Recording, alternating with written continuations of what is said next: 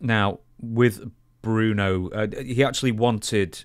I'm sorry, he was offered by WCW to do commentary the next year, and he just said, "I don't want to do the travel. I'm happy to do an appearance like this." And just because you mentioned before, Bruno was on commentary for quite a few years doing superstars and everything. And I say on commentary, it was Vince and Jesse, and then Bruno would say something for about 20 seconds at the end, and then it was the other two again. So it was, he was completely wasted. He was there for the Northeast crowd, I'm sure. But Right, right. having said that, why did Bruno and Vince McMahon have such a bitter dispute for so long? What was the what was the main thing that was the issue between them? Steroids was was the number one issue. Uh, uh, the second issue was he just didn't like where wrestling had gone. Um, you know, and I, I think we, you know, we all ha- suffer that malady, right? We, we remember the industry, we remember it, and then it morphs into something else. Uh, you know, Bruno, I, I mentioned before, he, he never quite understood ECW. Uh, you know, he was always respectful to it, but he would say, "Yeah, but why? You know, you should be if you're in the audience for three minutes, you should be counted out, and you know why this and why that." And I, I realized no matter what I said, it was going to get him to see it. Uh, so I said, "Well, come on, Bruno. To be fair, you guys had a green a guy with a green tongue eating turnbuckles," and and he sort of chuckled and shrugged it off. Uh, you know, the, the industry was especially then. I mean, it's still it's always in a state of flux and changing to something else. But wrestling had gone from black boots and black tights, smoke filled rooms with a few lights above the ring, to massive arenas and stadiums, feather boa wearing, rock music entering. I, I mean, it was just like dark ages to Technicolor.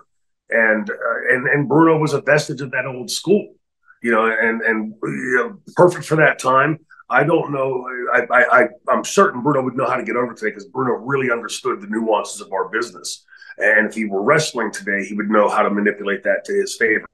Uh, but he, like all of us, we have that one foot in where we came from in the business and what we remembered and loved about the business and what we learned and then spewed out for the business after that. Uh, Bruno just couldn't make that connection and, and make that leap. The steroids was the biggest. And when he uh, announced, when he made the deal to finally go to the Hall of Fame, the deal was he got to announce it in Pittsburgh on local media the night before WWF released the information. And I was watching Channel 2 News, KDKA News in Pittsburgh that night, and I see this is how I learned that Bruno was going to the Hall of Fame. And they interviewed him briefly, and he said, you know, well, you know, the steroids, and he said, but they've assured me that's all been taken care of. And and I knew it was a lie. And so I called Bruno right up and I said, you know, Bruno's, you know, heads up on this.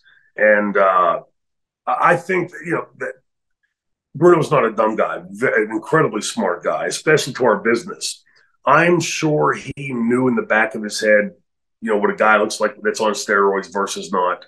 Uh, but I think he wanted to, and he certainly deserved to enjoy his acceptance into the Hall of Fame instead of posthumously, right?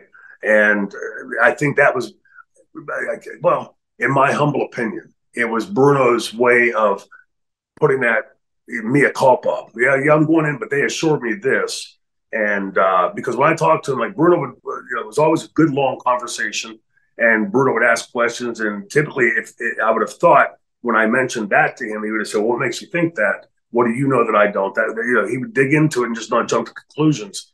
And he asked none of that in that conversation. So I backed right off and thought he knows what he's doing, and uh, you know, and certainly, like I said, deserved to to to to uh, bask in, in in the in the uh, the entertainment of being involved and accepted into the Hall of Fame because he certainly deserved to be there. Don Muraco, when I was doing the podcast with him, always said that another bone of contention between Bruno and Vince originally was when Bruno had the Pittsburgh territory. And there were issues between those two over that. So I don't know if that's anything you and Bruno ever talked about. Yeah, uh, I, that was called International Wrestling, uh, and it, it, aired for a couple weeks. Everybody knows, and you know my love and respect for Bruno. It was a like you had mentioned about uh, Brickhouse Brown and like being a, a vestige of a bygone era. International wrestling looked just like that. It looked like an old tape from late 1962, and it, you know, and production didn't have the money for production and all of that.